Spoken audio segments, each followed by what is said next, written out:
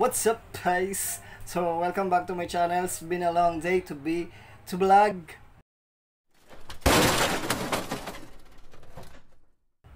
Yan, ayan. Yan. So bali napakatagal na po natin na hindi nagba-vlog. So since Valentine's Day ngayon, so tuturuan ko kayo kung paano mag-DIY ng Valentine gift, a simple Valentine's Valentine's gift para po sa mga loved ones nyo. So, ito po yung medyo naisip ko na medyo cheap na Valentine's gift. So, samahan niyo po ako. See you!